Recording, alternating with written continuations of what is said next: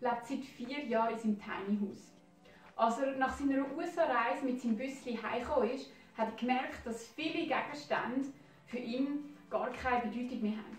Deswegen hat er sie nach und nach einfach abgegeben. Aus seiner 180 Quadratmeter grossen Loftwohnung ist er umgezogen in einen 20 Quadratmeter grossen Zirkuswagen, den er selber umgebaut hat. Wieso er sich aber nicht als Minimalist bezeichnet und eine recht spezielle Sicht in Bezug auf Nachhaltigkeit hat, Das erfahren wir jetzt. musst du manchmal auf etwas verzichten. Nein, ich verzichte eigentlich auf nichts in dem Sinn. Also es gibt ganz selten Situationen, halt irgendwie, wenn du krank bist oder wenn du nicht wohl bist und du denkst, jetzt ein Bad nehmen wäre mega gut. Wohnraum, also Fläche, hat in dem Sinn keine Bedeutung mehr für mich.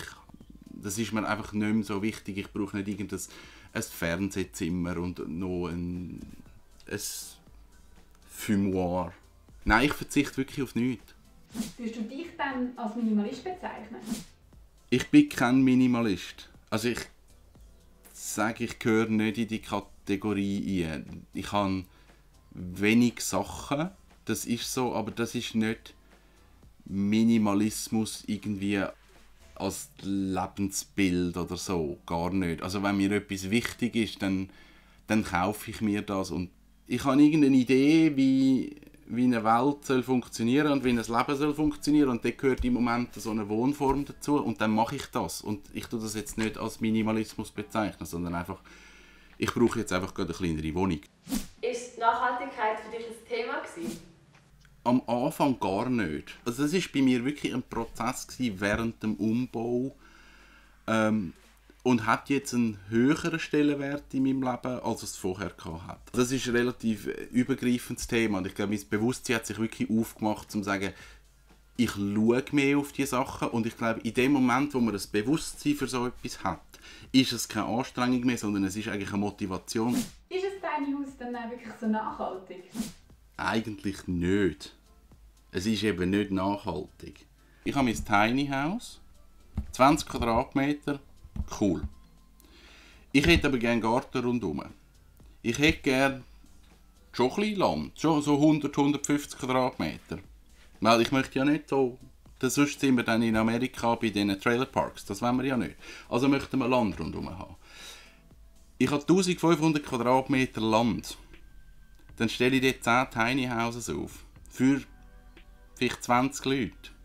Das macht keinen Sinn. Das ist nicht nachhaltig. Auf jetzt 1000 Quadratmeter, 1500 Quadratmeter kann ich definitiv etwas Besseres bauen als 10 Tiny Houses. Und das ist nicht nachhaltig, wenn man so etwas durchdenkt. Also man müsste die, die Wohnkonzepte neu denken, dass man sagt, wie kann man jetzt äh, eine Fläche wirklich sinnvoll nutzen und nachhaltig nutzen. Und dann glaube ich, gibt es bessere Konzepte als Tiny House. Hast du Tipps für jemanden, der möchte downsizen und nicht weiss, wo er anfangen soll?